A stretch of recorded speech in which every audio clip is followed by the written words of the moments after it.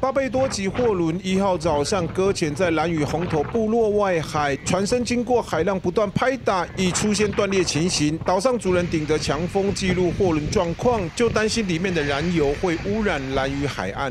这货轮已经被拦腰折断两半了！现在居民所最担心的是油渗出海面的问题。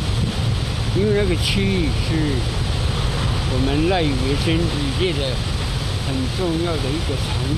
由于货轮内载运的柴油三十九吨以及低硫燃油两百二十七吨，目前船身断裂极有可能外溢，而台东环保局也做好应对措施，但必须等台风过后再处理。海象状况不佳哈，毕竟这一艘是货轮，它它有一定量的呃存放的柴油，那以及低硫燃油哦，所以后续那个呃高雄这边海保署他们有准备。资材，那以及我们台东环保局这边的也盘点相关的应变资材。台东环保局表示，已派人随时监控货轮状况，离岛船班复航将立即运送相关环保资材过去蓝屿，防止污染持续扩散。原视新闻不给亚格德的版台东蓝屿场报道。